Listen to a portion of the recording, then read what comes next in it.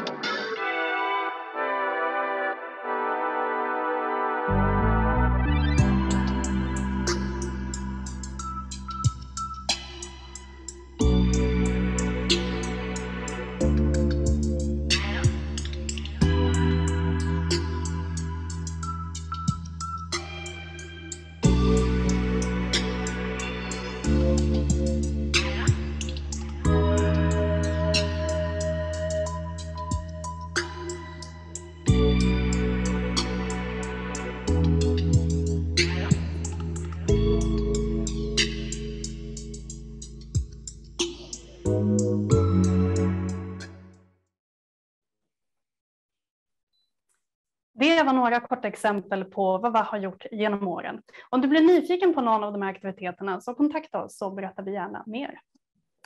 Nu ska vi gå tillbaka till allra första början. 2002 var hon riksdagsledamot och ordförande i RIFO, Sällskapet riksdagsledamöter och forskare. Jag har äran att presentera Vetenskap och allmänhets initiativtagare och första ordförande. Välkommen Maj-Len Westlund Panke. Tack. Hej Maj-Len. Hej. Vill du berätta, hur föddes idén till Vetenskap och allmänhet? Jo, i slutet av 1990-talet eh, så var jag ledamot i bioteknikkommittén, en parlamentarisk kommitté med uppgift att göra en kartläggning av pågående bioteknisk forskning, se på risker, se på möjligheter och samtidigt skulle vi också se på framtiden, vilka möjligheter som till exempel stamcellsforskningen skulle ge oss. Den här kommittén startade mitt under den mest hetsiga GMO och kloningdebatten. Så vi var ute och talade med väldigt många olika människor, organisationer, både från forskarsamhället och från det civila samhället. Vi lyssnade av vad forskarna ansåg sig kunna göra med den nya tekniken. Vi lyssnade av hur det civila samhället såg på det hela, oron som fanns. Och under alla de här samtalen så slogs jag av att det fanns en bristande tillit mellan det civila samhället och forskarna och forskningssamhället när det gällde många delar utav den biotekniska forskningen. Och jag insåg ganska snabbt att man måste finna en plattform där man kunde föra en dialog i ett annat tonläge än som då var fallet i eh, den mediala dialogen när det gällde just kloning och GMO. Och även stamcellsforskningen började då att diskuteras. Så jag började helt enkelt med att samtala med det nätverket som jag hade byggt upp i samband dels med min riksdagsplats, med RIFO, men också då med alla de organisationer som jag hade varit ute och samtalat med i samband med arbetet med bioteknikkommittén. För att lyssna av om det fanns något intresse och det fastställde jag ju ganska snabbt att det fanns det både ifrån forskarsamhället och det civila samhället runt omkring. Att kunna föra en konstruktiv dialog kring de här frågorna. Mm. Så då var ju, man säger första målet nått. Och sen gällde det då att finna sponsorer för pengar för att starta den här verksamheten. Mm. Och det fick jag också snart positivt besked ifrån. Riksbankens jubileumsfond var en av de första som sköt till pengar. Men även många av de större, lite mer välbärgade organisationerna sa sig vara villiga att skjuta till ganska mycket pengar i startmedel, däribland eh, Landsorganisationen, LO till exempel. Som du blev ju regeringens första ordförande. Vad minns du från den första tiden? Ja, från den första tiden så gällde det ju väldigt mycket konkreta frågor. Eh, hur skulle den här verksamheten vara? Eh, myndighetstanken slog jag ifrån mig ganska snabbt. Jag hade ju genom mitt riksdagsarbete också kontakter med andra parlament i Europa för att höra lite grann, fanns det den här formen utav möjlighet och plattformar för dialog. Men de flesta hade ju någon form av myndighetsbasis för det här. Och det var liksom ingenting som, som jag ville gå vidare med, utan vi tittade lite mer på plattformar som redan fanns, till exempel Folk och Försvar, som är en plattform för dialog mellan försvarsmakten kan man säga och det civila samhället mm. som tillkom en gång i tiden där det fanns kanske lite bristande tillit, förtroende till varandra.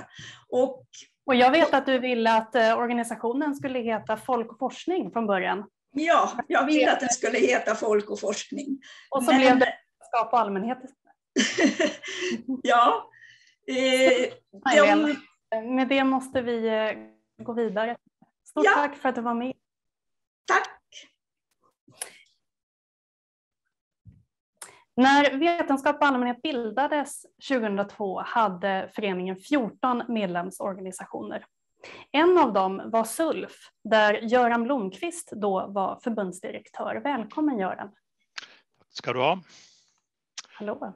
Du, var, du var ju, satt ju också i VAS styrelse, ska nämnas, både för SULF och för Riksbankens jubileumsfond senare. Eh, men om vi går tillbaka till allra första början där, 2002 när VAS bildades. Eh, hur kom det sig att SULF blev medlemmar? Vad var det som var intressant med den här nya föreningen? Dels var det att vi bland styrelsemedlemmarna hade flera som var väldigt engagerade när det gällde forskningskommunikation, tredje uppgiften, samverkan, det har ju funnits olika benämningar. Ehm, och de tyckte, många av dem och jag tyckte att det var en jättebra idé att skapa en nationell plattform. För många gånger det arbete som lärosätena gjorde, det blev ju en del i deras ehm, ska vi säga, inslag, det riskerade att bli en del, ett inslag i deras marknadsföring. Men här kunde man nu skapa en helt ny organisation, kanske lite mera snabbfotad utan de här bindningarna. Um, och sen detta som Maj... Ja, förlåt mig. Spelade det roll då att det var en ideell förening? Ja, det tror jag. Det hade betydelse. Jag menar, en fackförening tillhör ju civilsamhället så att man känner väldigt mycket för den typen av organisationer. Men om jag bara får säga när det gäller detta som varför gick vi med som organisation? Majlen tog ju upp detta tycker jag väldigt bra, alltså kring millennieskiftet var det många frågor som dök upp ehm, och som diskuterades mycket i allmänheten och där det fanns en efterfrågan på ja, kunskap, idéer, diskussion.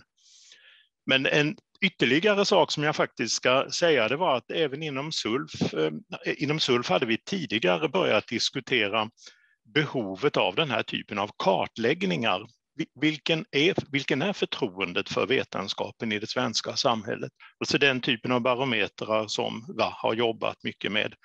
Mm. Därför att man såg ju väldigt tydligt kring millennieskiftet att eh, staten kommer inte i all oändlighet kunna öka sina intäkter utan det blir nödvändigt med prioriteringar mellan olika områden.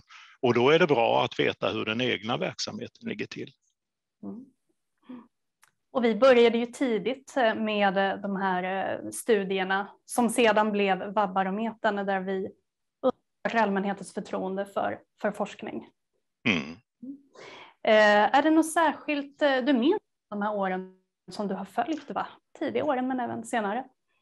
Ja, men om jag håller mig till de där tidigare åren, alltså Majlem började ju säga en sak som jag också har tänkt på det var ju en nybyggaranda i den här styrelsen. Alltså vi visste inte riktigt vad ligger horisonten för vårt arbete? Finns det någon horisont? Och det betyder ju det att vi hade livliga diskussioner, ganska långa sammanträden som jag minns och en hel del hands-on när det gällde sådana här frågor som ehm, medborgarundersökningarna, medborgarundersökningar och liknande. Sen var det ju kul, tycker jag, ehm, att få kännedom om platser, arenor som jag faktiskt, Färgfabriken till exempel, kände, hade jag inte en susning om. Mm. Den var i och för sig inte så gammal vid det laget, men det var ju väldigt spännande att komma dit. Och mm. ännu mera sedan, om jag bara får säga en sak här, ESOF, Euroscience Open Forum, vi såg en av bilderna från eh, Barcelona tror jag. Ni vet, ehm, det var ju en väldig ehm, engagemang för europeiska forskningsfrågor i början av millenniet. Och att då kunna visa upp svensk deltagande när det gäller detta på europeisk nivå var kul.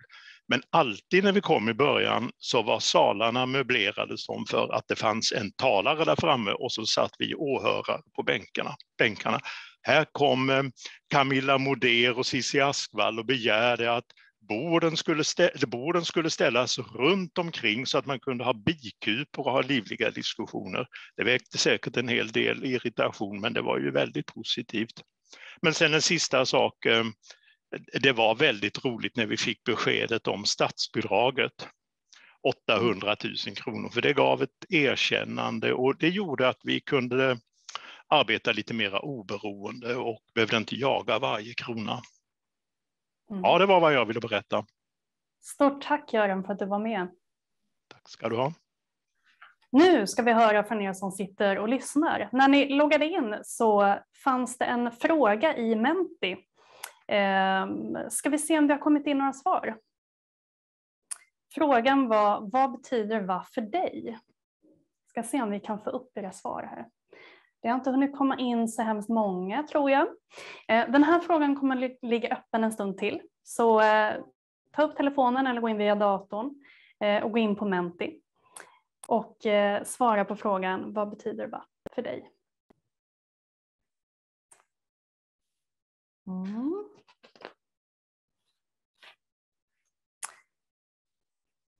Då är det dags att välkomna nästa gäst. 2010 hade de 14 medlemsorganisationerna i VA blivit 68. Från början hade vi en anställd på deltid, det var generalsekreteraren. Men eh, 2010 hade vi fyra anställda på kansliet. Och under de kommande fem åren fram till 2015 så ökade eh, antalet medlemmar till 80. Eh, vi fick fler och fler anställda, föreningen växte Agneta Blad var ordförande IVA 2010 till 2015. Välkommen Agneta.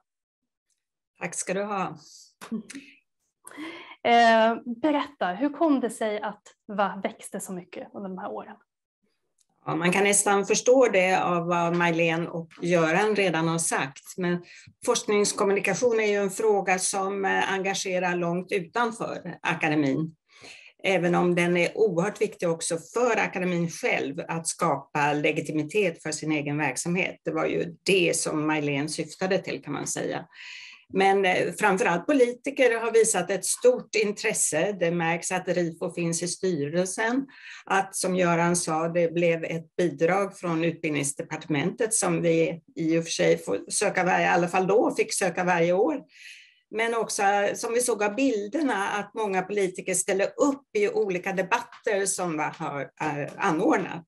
Och det visar på eh, att det här är en fråga som engagerar. Och det tror jag är framgångsfaktor nummer ett. Sen har det varit ett oerhört kompetent kansli från början. Fastän det har varit ganska få inledningsvis, som du sa. Men eh, det har blivit fler och fler.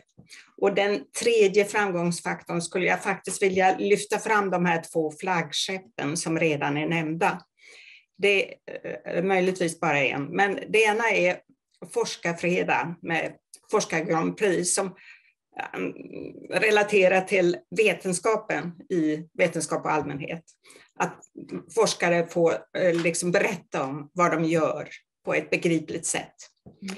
Och det andra är VAP-barometern där ni tar reda på vad tycker allmänheten egentligen, där fokus är på allmänheten. Och de här eh, flaggskeppen, Forskarfredag och eh, VAP-barometern, det tycker jag också har bidragit till framgången faktiskt. Mm. Och ni kommer få höra mer om både Forskarfredag och VAP-barometern senare i programmet. Eh, men just Forskarfredag var en, var en aktivitet som växte väldigt mycket under de här åren och spreds till, till eh, fler och fler orter i landet. Men Agneta, det har ju, vägen har ju inte bara varit spikrakt eh, heller. Det var ju en del utmaningar under de här åren också. Vill du eh, säga någonting om det? Ja, man kan ju liksom inte bara säga att allt är en dans på rosor. Eh, vi berättar nu från vad var ett i barnaåren och när jag kom in var, var i tonåren och nu eh, har jag precis blivit vuxen och lämnat tonåren. Det är en fantastisk eh, resa som är gjord. Och eh, tonåringen måste ju visa sin identitet på något vis. Och det, att, den största svårigheten handlar ju om ekonomin. Jag såg att Åke Svensson är en av deltagarna här och han var vice ordförande när jag var ordförande. Vi jobbade väldigt mycket med ekonomin. Och den största stötestenen var ju faktiskt när eh, inte fick eh, EU-bidrag till Forskarfredag. Eh, och hur skulle vi hantera det? Och en annan stötesten var också att EU-revisionen eh, e kom och gjorde besök och ville kolla och vi var då rädda att man skulle få betala retroaktivt tillbaka en massa. Det blev inte det, så det, men vi hade många ekonomiska diskussioner om hur vi skulle hantera det i styrelsen faktiskt. Och sen var det ju också hela tiden en osäkerhet om utbildningsdepartementets bidrag. Så finansiellt eh, var det svårigheter och därmed fanns det inte alltid så stora möjligheter att göra allt det vi ville göra. Mm. Men vi gjorde väldigt mycket ändå. Det hände väldigt mycket de här åren. Mm. Forskarfredag växte. Eh, vi startade nya projekt som RI Tools och eh, Massexperimentet, Forskar Grand Prix. De här projekten kommer ni få höra mer om alldeles snart. Men Agneta, är det någonting du minns särskilt eller är extra stolt över de här åren? Mm. Ja, jag vill anknyta till det jag sa nyss om eh, att vi inte fick bidrag till Forskarfredag. Att lärosätena då ville ställa upp i alla fall. Och att eh, många organisationer också bidrog ekonomiskt, det var ett stort plus, det måste jag säga. Mm. Att vi vände den här ekonomiska utvecklingen tillsammans. Kanske blev efter jag slutade, men ändå. Det, vi kämpade mycket på det. Och sen skulle jag vilja lyfta fram ett oerhört kompetent kansli hela tiden. Det är vad jag minns särskilt. Stort tack Agneta för att du var med. Tack.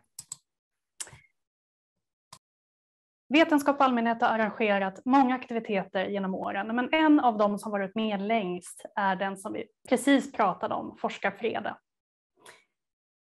Tillsammans med samarbetspartners och arrangörer över hela Sverige har vi arrangerat möten mellan forskare och elever, lärare, barnfamiljer eh, sedan 2006.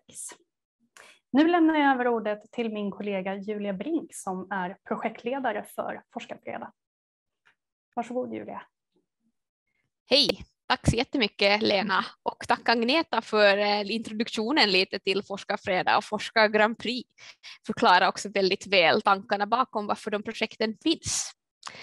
Forskarfredag har rötterna så långt bak i tiden som 2005 och då hette festivalen Utbrott och gick av stapeln på Kulturhuset Lava i Stockholm. Utbrottet var då redan en del av EU-kommissionens då startade Researchers Night. 2006 började VA samordna forskarfredag som en del av European Researcher Night och redan då började festivalen ta den form som den är idag, 16 år senare. VA samordnar och koordinerar ett 30-40-tal arrangörer runt om i hela Sverige, bland annat science centers, lärosäten och kommuner. Många av er, våra medlemmar, har varit med och arrangerat forskarfredag på olika sätt under åren. Som en del av arrangör av Forskarfredag så får man kompetensutveckling och kunskapsutbyte när vi arrangerar kickoffer, kunskapsutbyten mellan, mellan, det där, mellan varje år och, och utbyten genom möten och så vidare. Så det är också en, en nöje, nöje för arrangörerna att vara med för att bli bättre på att själva arrangera i framtiden.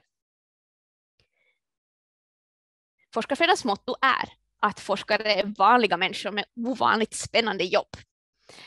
Och just nu väntar vi med spänning på EU-kommissionens beslut för bidrag för 2022 och 2023, som vi hoppas på såklart. Och den 10 februari drar vi igång med kick-off för arrangörerna, så att arrangörerna får börja planera för sina aktiviteter inför årets forskarfredag i slutet av september. Vi kommer också att fortsätta med vår succé från förra året, den nya bokningsplattformen Låna en forskare, där vi försöker göra det lika enkelt att boka en forskare som att boka frisör. Nej, nej, det är inte riktigt så, skämt åsido. Men vi gör det, ska göra det så enkelt som möjligt för lärare och andra att ta, ta del av hur, vilken forskare, vad forskarna gör och vilken forskaren är och tid som forskaren kan delta i klassrummet genom att ha en online-plattform där man kan gå in och välja vilken forskare man vill ha på besök. Och då kommer forskaren på besök och berättar om hur det är att vara forskare, vad en forskare gör, men också visar på att forskare är vanliga människor.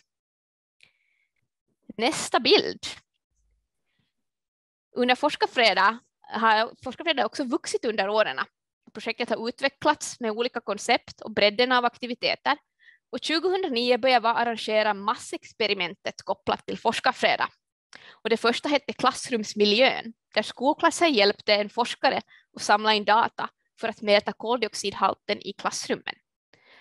I massexperimenten får elever, allmänhet och andra hjälpa forskarna med riktig forskning. Och tack vare eleverna får forskarna samla in mycket data, mycket mer data än vad de skulle klara av på egen hand. Och eleverna får i sin tur kunskap och insikt i vetenskaplig metod som bidrar till förståelse för hur forskning fungerar. Genom åren har också våra massexperiment fått ringa på vattnet och fått fortsättningsprojekt. Till exempel tepåseförsöket från 2015 har ett fortsättningsprojekt som vi håller på med idag, Tepåsar berättar, eh, där vi tittar på nedgrävda tepåsar och vad vi kan lära oss av dem om klimatet och jorden. Projektet är ett samarbete mellan Umeå universitet och Sveriges lantbruksuniversitet samt Hushållningssällskapet. Och om ni vill veta mer om det pågående projektet kan ni kontakta min kollega Fredrik Brunäus. Ett annat massexperiment som fått ringa på vattnet är nyhetsvärderaren från 2017 eh, som fick ett fortsättningsprojekt direkt därpå. Och som en del av det så gjorde nyhetsvärderaren valspecial 2018 där vi hjälpte eh, forskare att undersöka vilka nyheter som unga fick i sitt nyhetsflöde under det, inför det svenska riksdagsvalet. De här metoderna och, och utbildningsmaterialet finns att använda även nu som lärare kan inför det här valet ta in i klassrummet och återanvända. Och vad händer nu då med årets massexperiment? Jo, vi har ett samarbete med Håll Sverige rent om ett experiment som heter Plastexperimentet. Och det blir faktiskt också den första gången vi gör ett tvåårigt massexperiment. Men det räckte inte bara med massexperiment, för 2012 så startade också Forskar Grand Prix, en tävling där man ska berätta om forskning på endast fyra minuter. Och vem vinner? Jo, det beslutar publiken tillsammans med expertjuryn. Konceptet är baserat på den norsk, Norges Forske Grand Prix som sin tur har utvecklat det på ett koncept från Danmark Center of Kunst och Videnskap vid Syddanska universitetet. En hel nordisk tävling kan man väl kalla det helt enkelt. För forskare som deltar är det kompetensutveckling i att berätta om sin forskning på ett förståeligt sätt med hjälp av coachning. Och för att genomföra Forskar Grand Prix samarbetar vi med Forskarfredag arrangörer runt om i landet som arrangerar deltävlingar där varje finalist får en möjlighet att delta i finalen i Stockholm på hösten. Och finalen är ett samarbete med våra forskningsråd som hjälper oss med planering och finansiering av finalen. Och det är Vinnova, Forte och Formas och VR som har varit med under alla år som samarbetspartner. De senaste åren har vi också breddat på Forskar Grand Prix genom att ta in en, en digital deltävling för att få flera forskare att delta och ge möjligheten över hela landet. Och tidigare hette denna deltävling Nörd, nu heter den Forskar Grand Prix Digital. Och vi välkomnar flera medlemmar att arrangera aktiviteter under Forskarfredag, låna ut forskare till låna en forskare, eller kanske vara med och arrangera en deltävling i Forskar Grand Prix nu under vårt jubileumsår speciellt. Tack för mig.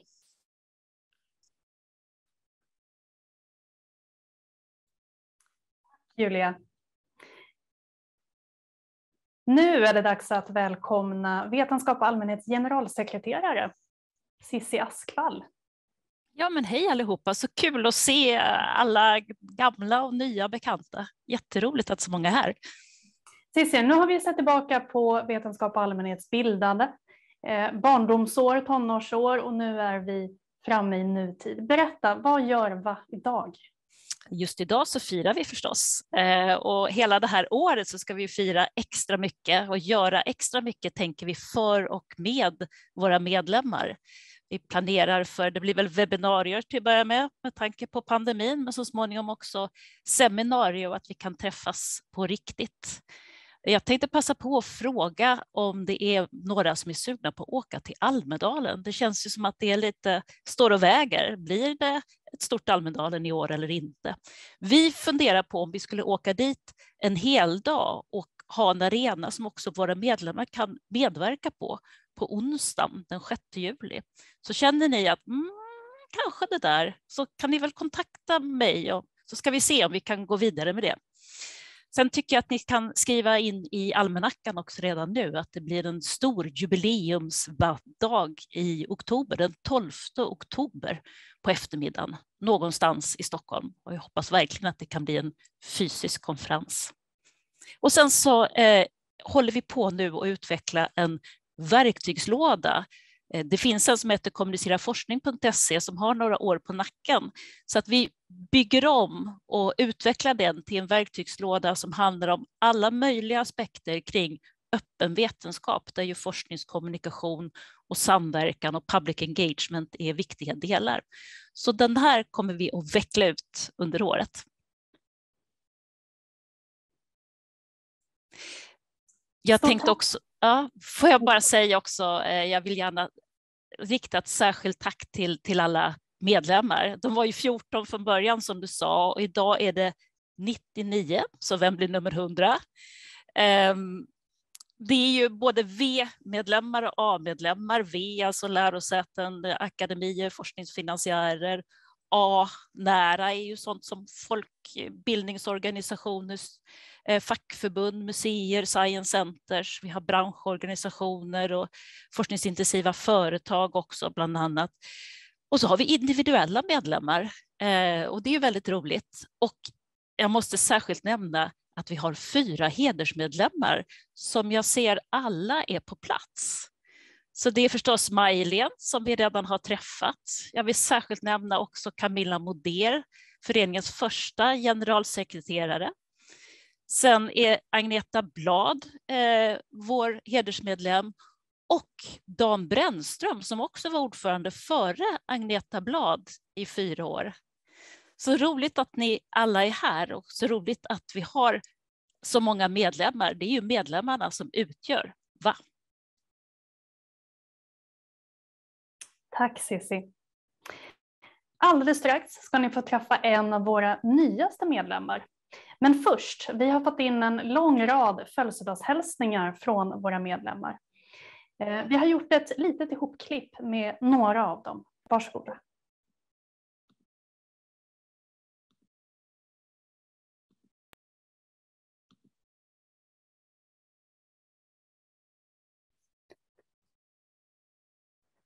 Vetenskap och allmänhet 20 år och jag har haft nöjet att följa verksamheten under nästan hälften av dessa år framförallt då i egenskap av ledamot i VAS styrelse, men också som generaldirektör för Vetenskapsrådet som är en av huvudfinansiärerna till VA och även medfinansiär och medverkande i flera av VAS uppdrag.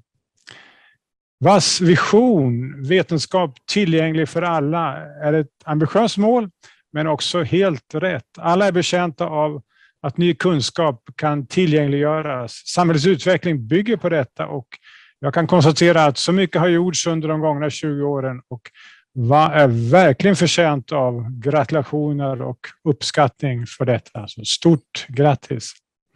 Men eh, eftersom det hela tiden skapas ny forskningsbaserad kunskap så måste arbetet fortsätta. Så jag vill också önska vad all lycka till med framtida insatser. Ni behövs och jag hoppas också att det fina samarbetet mellan VA och VR kommer att fortsätta och rent av förstärkas. Tack!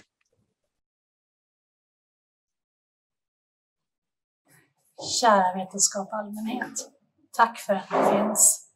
Inte minst under pandemitiden har det blivit uppenbart hur viktigt det är att allmänhet och vetenskap förs närmare varandra. Och vi har ett väldigt tydligt gemensamt intresse, ni och vi på Kungliga biblioteket, nämligen att all vetenskap ska bli så öppen det bara går. Jag vill å KBs vägnar tacka för ett fint samarbete och ser fram emot fortsatt samarbete med vår unga själsfrände. Stort grattis på 20-årsdagen från Kungliga biblioteket!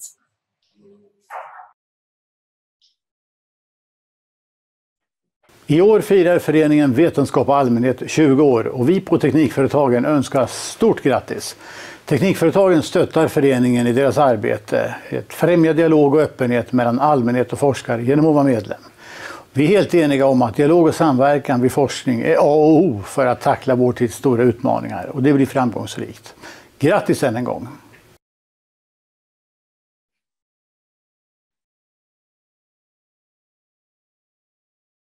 Kära jubilar.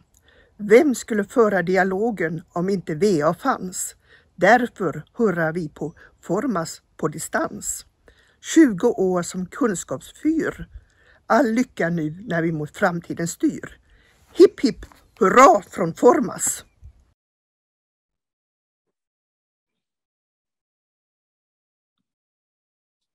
Stort tack för de här fina hälsningarna.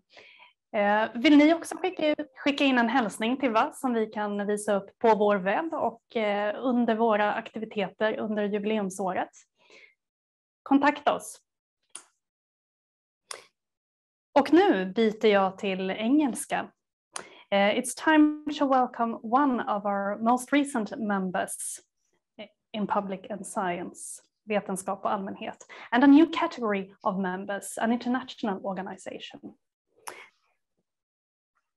I welcome Joanna Lewis, Public Engagement Officer at ESS, European Spallation Source in Lund. Welcome. Thank you. Hello. Please tell us about ESS. Sure. So um, I'm here from ESS, European Spallation Source, which is an important research centre being built in Lund in the south of, of Sweden. Um, we also have a data management centre actually in, in Denmark, in Copenhagen, but we are an international organisation.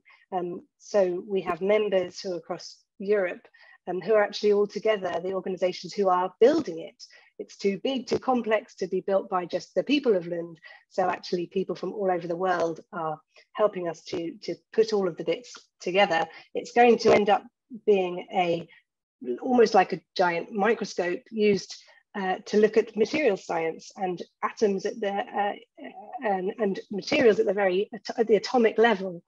Um, so it has, uh, as well as a giant linear particle accelerator, uh, which we use to generate neutrons. Those neutrons will be used to look at things from proteins uh, to uh, engineering materials um, and even uh, viruses or perhaps um, new plastics or uh, types of energy source, batteries, etc. So it's the reach when, when it's a functioning research center is going to be extremely broad um, and researchers from all over the world will come here. We're expecting two to 3,000 researchers a year to travel to Lund to carry out experiments here once it's up and running um, in the next five or six uh, years or so. And how did you heard of VA and uh, why did ESS decide to become a member? So I joined ESS uh, two years ago, um, but I'd heard of uh, VA or VA as I called it. Um, before that, I came from the United Kingdom and I've been working in science communication for about not quite 20 years, but about 15 years. Um, and I've actually, I remember people coming um, over from Sweden to conferences that I was at and showing a barometer and uh, talking about European projects that, that uh, you're involved in. So I was aware of the organization. So when I came here as public engagement officer, um, I felt that as, a, as the, the new kid on the block of the relatively new uh, research organization on the scene for Sweden, it's really important that ESS becomes part of the discussion, the culture, and the discourses around science and research in Sweden. Um, so I was keen that we uh, begin to kind of integrate into networks and organizations, but also I was aware that I think there's a lot that you can do for us, which is how hopefully member organisations should work. We've got great stories to tell and we will have great researchers to, to share.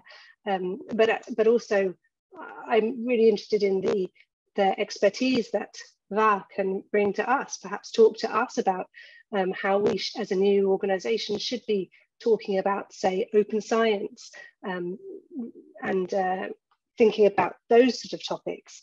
Um, I'm interested in maybe even being part of future collaborations. We've actually participated a little bit in Forskarfredag already, but we can would like to do do more.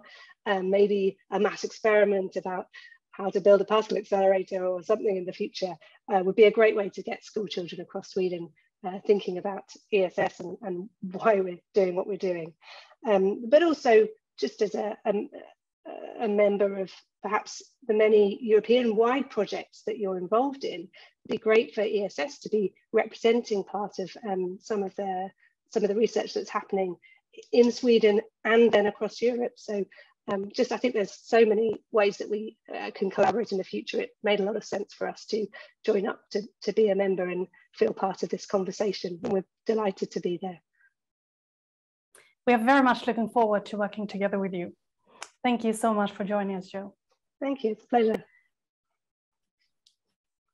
Och nu är det dags för mina kollegor här på VA att berätta mer om vad vi jobbar med. Jag för över ordet till min kollega Martin Bergman, utredare på VA. Varsågod Martin. Tack så jättemycket Helena. Tack. Ja, precis som vi har hört här, eh, flera personer har sagt att eh, eh, så har Vetenskap och allmänhet genomfört studier och undersökningar ända sedan föreningen startade för 20 år sedan. Ehm, Syftet med de här studierna har alltid varit att vi vill förstå det här gränssnittet mellan forskare och allmänheten. Hur ser den här interaktionen ut? Vilka kanaler används för den här dialogen och vilka faktorer som påverkar den här dialogen och utbytet? Och med en bättre kunskap om, om det här så vet ju vi då såklart bättre hur vi ska arbeta för att utveckla och stimulera den här dialogen mellan forskning och samhälle. Man kan väl säga att ryggraden i de här studierna har alltid varit allmänhetens attityder till forskning och vetenskap. Vad tycker svenskarna ens om forskning och vetenskap? Är man intresserad av forskning? Vilken typ av forskning är man intresserad av? Vad har man för förtroende för forskning som bedrivs till exempel?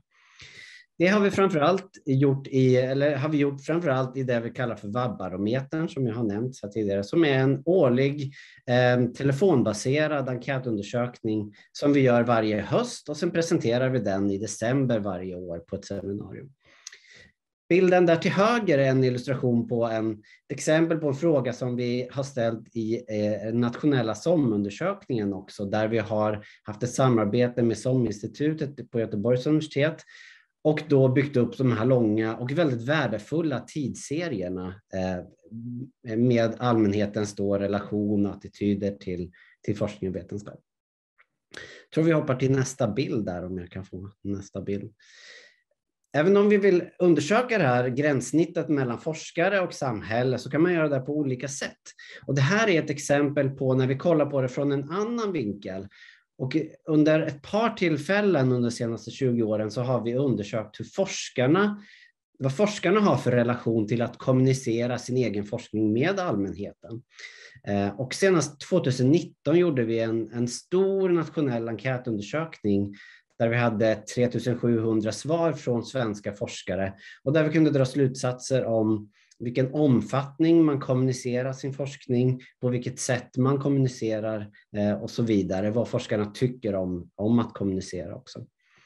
Bilden där är en ett, eh, illustration på det seminarium som vi eh, arrangerade i samband med släppet av den här rapporten i, i bankhallen.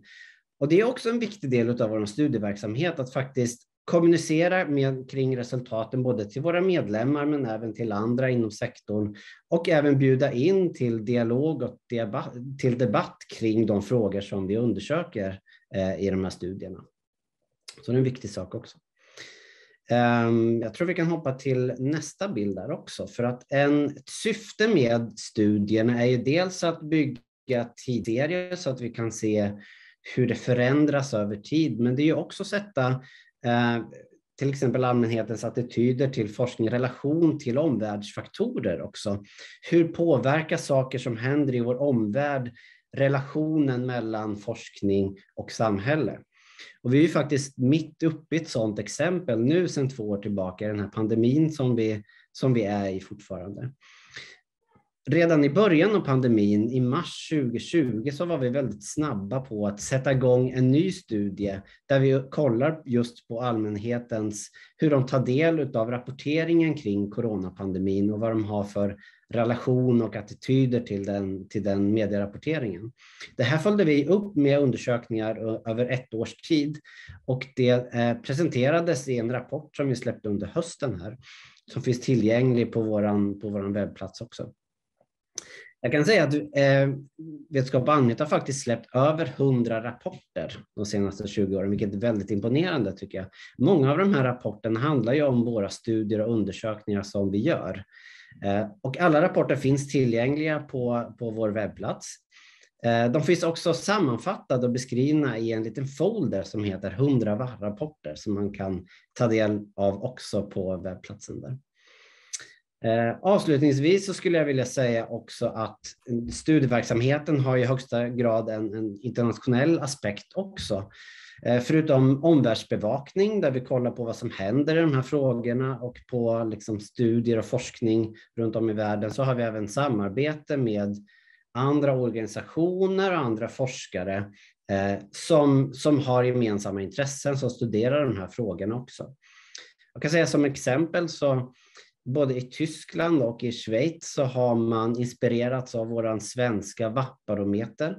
Så där genomför man numera egna barometer som kallas för Wissenschaftbarometer eh, med en liknande undersökning fast i, i Tyskland och Schweiz. Eh, men någon hos oss på VAS som vet mer om vårt internationella arbete är Maria, så jag tänkte bolla över ordet till Maria här eh, och säga mer om det. Martin. Och eh, jag jobbar då med våra internationella samarbeten här kvar. och vi vet ju alla att forskning och vetenskap har ju inga gränser och att samverkan och kunskapsutbyte främjar ju också ny kunskap och förändring och det är definitivt någonting som eh, den här snabba utvecklingen av ett covid-19-vaccin har visat oss alldeles nyligen. Och vi är ju ingen stor organisation här på VA. Vi är kansli på ungefär 14 personer och vi har ju alla er 99 medlemmar. Men framför allt så genom och tillsammans med alla våra europeiska projektpartners och samarbeten så får vi tillgång till en enorm kompetens och kunskap som vi kan dela med oss till alla er, våra medlemmar, till projektpartners här i Sverige, men också till det övriga stora forskarsamhället. Och all vårt internationellt arbete följer ju också VASs ändamål, det vill säga att främja dialog och öppenhet mellan allmänhet och forskare. Och vi har sedan vårt första EU-projektsamarbete 2009 sett en klar och tydlig utveckling från att sprida och kommunicera forskning till ett allt större fokus på just samverkan med samhället och öppen vetenskap. Och några exempel på områden där vi har hjälpt till eh, att bidra till en ökad kunskap genom våra internationella samarbeten är då framför allt inom forskningskommunikation, där vi i projektet Rethink skapar förutsättningar för framtidens forskningskommunikation inom samverkan genom vår medverkan i SciShops, där vi var med och skapade kunskapskiosker, Science Shops, runt om i Europa. Och en Science Shop det är ju en plats där allmänhet och forskare tillsammans samverkar kring aktuella forskningsprojekt eller frågeställningar. Vi har också hjälpt till att stimulera intresset och öka och informera om medborgarforskning. Och de senaste åren så har vi varit med och skapat en helt ny europeisk plattform Ehm, för detta, EU Citizen Science. Där man kan utbyta kunskap, skaffa sig mer information om det här, men framförallt öka också samarbetet inom mineralforskning. Och till slut också öppen vetenskap. Hur man öppnar upp och implementerar eh, öppen vetenskap i sin organisation. Det har vi framförallt testat och provat genom olika metoder och aktiviteter i EU-projektet Orion Open Science. Och all denna kunskap som vi har inhämtat via våra internationella samarbeten kommer ju, och vi ser ju till, att detta kommer er till godo. Ni är våra medlemmar, men även eh, forskarsamhället och beslutsfattare. Och det gör vi till exempel via workshops, utbildningar och en verktygslåda som Cissi nämnde för öppen vetenskap, rådgivning och naturligtvis också i nya samarbeten. Men vi ser även till att era synpunkter, idéer och tankar förs fram när vi sitter med i rådgivande grupper på nationell och på europeisk nivå.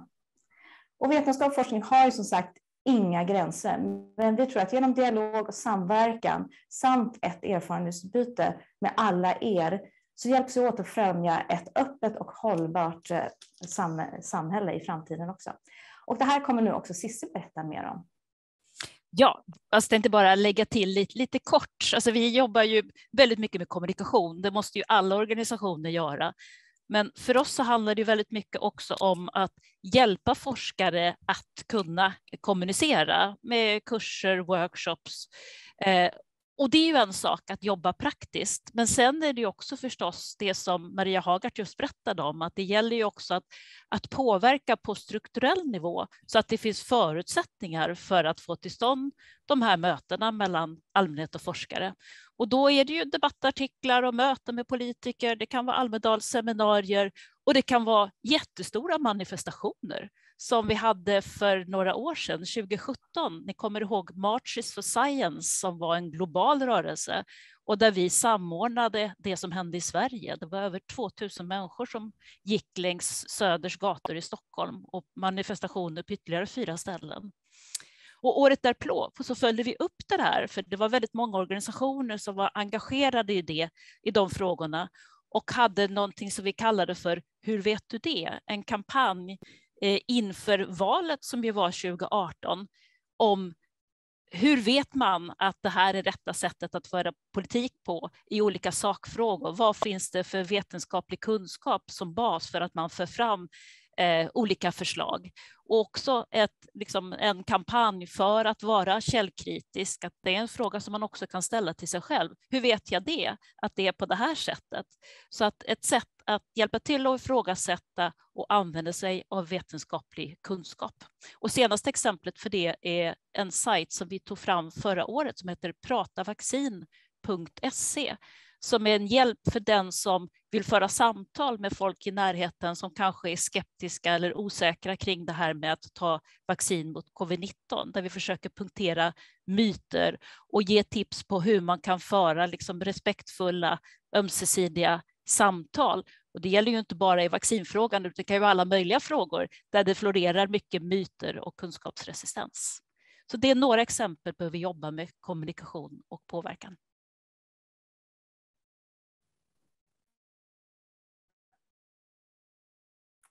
Nu vill vi återigen höra från er. Ska vi ta upp menten igen? Se om det har kommit in fler svar på frågan. Ni ska också få svara på en annan fråga där. Vad är vetenskap och allmänhet för dig? Nu har det kommit in fler svar. Inspiration, kunskap, nätverk. Viktig. Bra stöd i att skapa förtroende för, för och väcka intresse för vetenskap.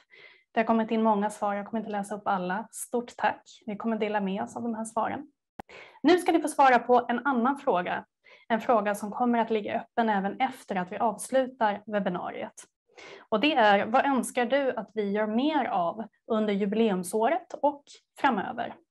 Och era svar kommer vi att dela med oss av i mejlutskick och vi kommer också att eh, visa upp dem i kommande aktiviteter och vi kommer använda de här svaren Eh, i planeringen inför året och framöver.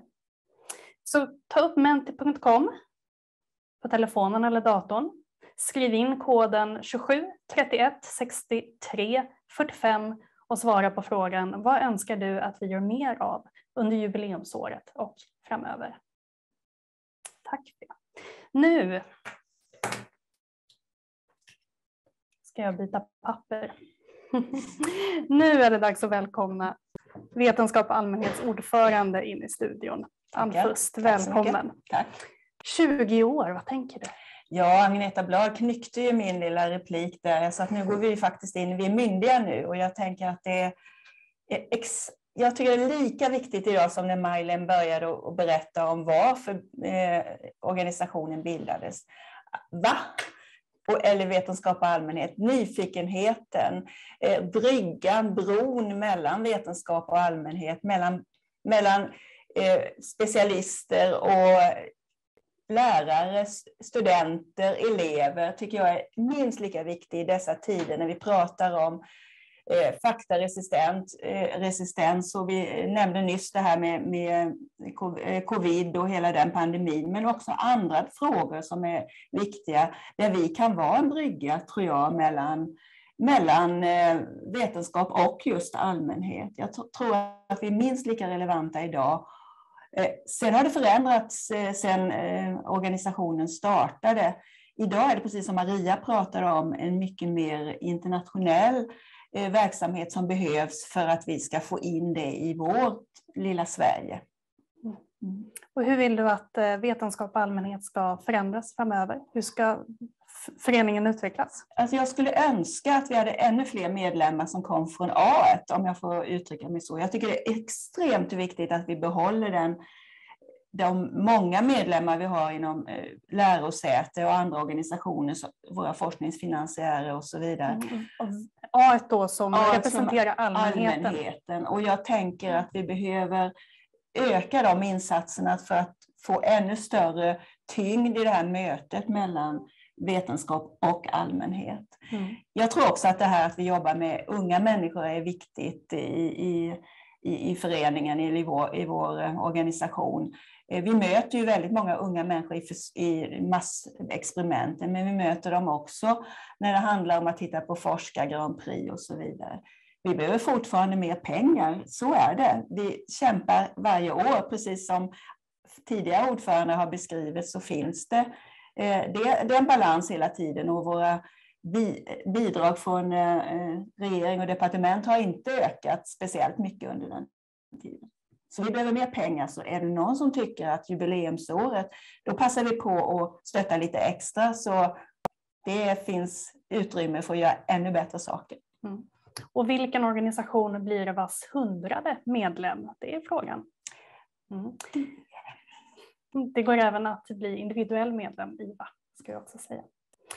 Eh, Ann, vad får man inte missa i år? under jubileumsåret? Absolut, så, så 12 oktober som ju Cissi redan har nämnt, det får vi inte mm. missa. Mm. Och så tycker jag att man ska hålla ögonen öppna på webbinarier och se, sedermera seminarier. Och så kommer vi naturligtvis att göra våra undersökningar som vi presenterar. Och håll ögonen öppna och var med. Jag tycker att det är viktigt att vi gör saker tillsammans med våra medlemmar. Så har ni några idéer så tycker jag att även det är viktigt att vi får, får eh, kommunikation. Jag kan säga att idag har jag fått ett mejl på en medlem som vill göra något tillsammans med oss. Det finns säkert fler. Spännande. Ja. Ska vi börja avrunda, säger du?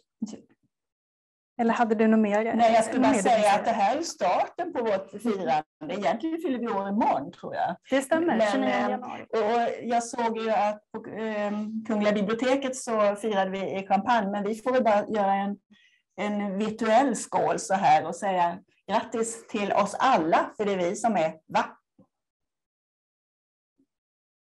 Tack Ann. Väl valda sista ord mm. för det här webbinariet som vi nu ska börja avrunda. Stort tack för att ni har varit med oss, eh, lyssnat, gjort inspel. Mentifrågan håller, håller öppen, så fortsätt skriv. Håll utkik på vår webb för kommande aktiviteter och häng kvar för det kommer fler eh, hälsningar från våra medlemmar. Jag hoppas att vi ser er snart igen. Eh, trevlig helg. Mm. Tack så mycket. Hej Vetenskap och allmänhet och grattis till 20 år som förening. Jag heter Mikael Drackner och är chef för kunskapsutveckling på Håll Sverige Rent. För er som inte känner till oss så arbetar vi för att vi ska bli fler som inte skräpar ner.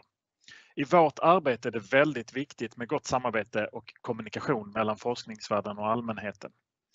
Just nu förbereder vi oss för att sätta igång plastexperimentet som är ett massexperiment vi gör tillsammans där vi med Sveriges skolor och forskare ska kartlägga förekomsten av plast i naturen på ett nytt, eh, inkluderande och förhoppningsvis spännande sätt. Eh, vi hoppas ju att det här blir ett lysande exempel på hur just forskare och medborgare kan skapa samhällsnytta tillsammans. Men det får vi lov att återkomma till senare under året. Just nu vill jag bara säga stort grattis! Ja, till oss alla faktiskt. Hej då!